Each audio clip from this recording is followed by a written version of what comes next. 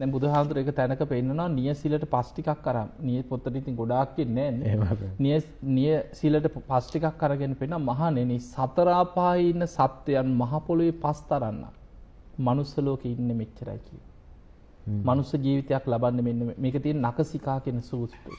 එතකොට දැන් හිතන්න ලසන්ත මනුස්ස ලෝකේ ඉන්නේ කෝටි 700යි. එහෙමයි. අපි තව වැඩිපුර 100ක්ම දෙමු. කෝටි 800යි කියලා හිතමු. මනුස්ස ලෝකේ කෝටි 800ක තරම් වර්තමාන ජනගහනය ඉන්නවා කියලා වැඩිපුරත් එක්ක අපි හිතාගමු. ඒක අපිට බින්දු ගාණෙන් හරි කෝටි ගාණෙන් හරි කියන්න පුළුවන්. දැන් අපි අපිට සතර අපාය ගැන ගත්තාම අපිට නිරේ පේන්නෙත් නැහැ, പ്രേත අපාය පේන්නෙත් නැහැ, අසුර අපාය පේන්නෙත් නැහැ. පේන්නේ එකයිනේ. තිරිසන් අපායනේ. එතකොට හතරෙන් එකයි.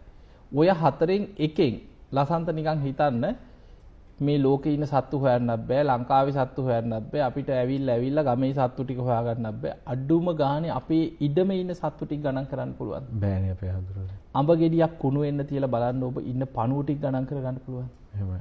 වේයෝ ගුලක් ගත්තොත් කෝටි ගාන කූඹි ගුලක් ගත්තොත් පොළොව හාරන්න හාරන්න එක වර්ග අඩියක් අරගෙන හාරලා බලන්න. කොච්චර පුංචි පුංචි සත්තු ඉන්නවද? දැන් මේ සත්තු අතර අපි පිළිගන්නේ අපිට සත්තු කියලා පේන්නේ නිකන් අර ලොකු ඇවිදගෙන යන අපිට පේන සත්තු විතරයි. බුදුහාමුදුරගේ සත්ත්ව විග්‍රහය තියෙන කරණීයමිත සූත්‍රය. තව දේශනා ගොඩක තියෙනවා. කරණීයමිත සූත්‍රය කවුරුත් දන්නම සූත්‍රනේ. දීගාවා දීර්ඝ ශරීර ඇති සත්තු ඉන්නවා. මහන්තාවා මහත ශරීර ඇති සත්තු ඉන්නවා. මජ්ජිමාමා මධ්‍යම ප්‍රමාණ ශරීර ඇති සත්තු ඉන්නවා.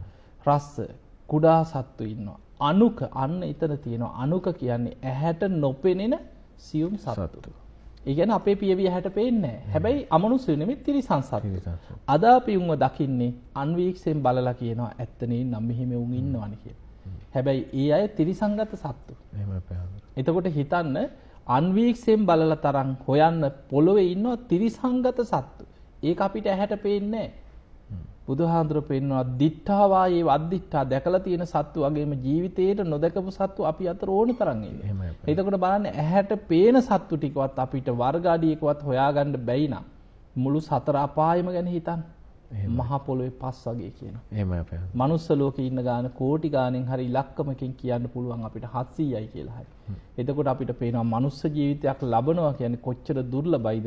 ඒකයි බුදුරජාණන් වහන්සේ පෙන්වන්නේ අර අපායේ මිදිලා උඩට එනවා කියන්නේ කන කැස් බෑ විය සිදුරේ අහස දකින්න වගේ කියලා මේ අමාරුකම නිසා. එහෙම